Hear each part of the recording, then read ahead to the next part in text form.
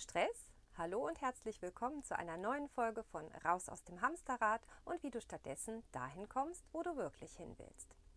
Wenn du dieses Video bis zum Ende schaust, erhältst du einen ganz wichtigen und aber zugleich ganz einfachen Tipp, wie du deine Akkus wieder auflädst und noch dazu Spaß hast. Kennst du das auch? Du hast unheimlich viel zu tun, bist nur noch gestresst und die nächsten Ferien sind weit weg. Du hast das Gefühl, dass du ineffizient arbeitest und drehst dich im Hamsterrad. Was kannst du tun? Ich empfehle dir eine Auszeit vom Alltag. So mache ich das zum Beispiel. Wenn die Akkus leer sind, solltest du nämlich erst die Akkus wieder aufladen, bevor du weiterarbeitest. Sonst bringt das Weiterarbeiten meistens nicht, weil du im Leerlauf durchdrehst und nicht produktiv bist. Wir machen das so, dass wir dann einfach ein paar Sachen einpacken in unser Wohnmobil und vielleicht eine Stunde fahren. Und wir übernachten irgendwo anders.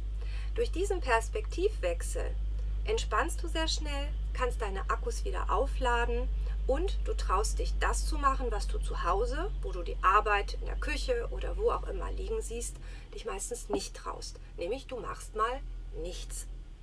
Und dieses Nichtstun, dieser Müßiggang ist das Geheimnis, um die Akkus wirklich wieder aufzufüllen.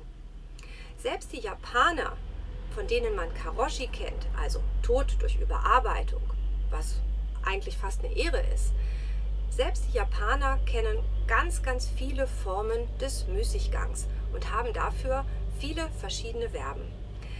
Diese Zusammenstellung hat mir übrigens eine Freundin geschickt aus den Ferien und die fand ich so klasse, dass ich mir erlaubt habe, das hier zu zitieren. Und die Japaner haben zum Beispiel das Wort Boketto, das heißt geistesabwesend ins Leere starren und dabei nichts denken und nichts zu tun haben. Das ist die ganz hohe Schule des Müßigganges. Und Bosa Bosa, das ist untätig herumsitzen und nicht das tun, was man tun sollte. Auch eine schöne Variante. Und Goro Goro, das ist mein persönlicher Favorit. Das ist mit Nichtstun, Zeit verbringen und sich im Liegen zu regeln. Und was du besonders gut bei einer Auszeit im Alltag machen kannst, wenn du wegfährst in eine andere Gegend, andere Aktivitäten machst, anderes anschaust, ist Bura Bura. Das ist nämlich ziellos in der Gegend herumlaufen und sich die Gegend dabei anschauen.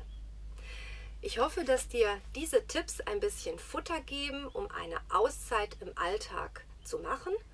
Wenn du das nicht mit einer Übernachtung verbinden kannst, was ich dir sehr empfehlen würde, dann schau aber, dass du das Ganze wirklich inszenierst, dass du dir ein Ziel aussuchst, wirklich vielleicht einen Tagesausflug, einen Picknickkorb packst, schöne Dinge mitnimmst, damit du am Abend wirklich befriedigt und erschöpft nach Hause zurückkommst.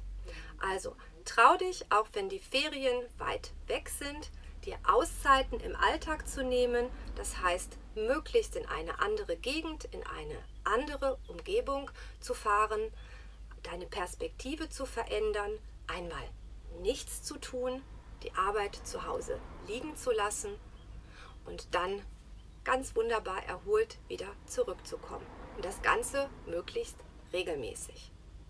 Viel Spaß beim Ausprobieren und ich würde mich freuen, wenn du diesen Kanal abonnierst und hoffe, dass dir dieses Video gefallen hat. Deine Sabine.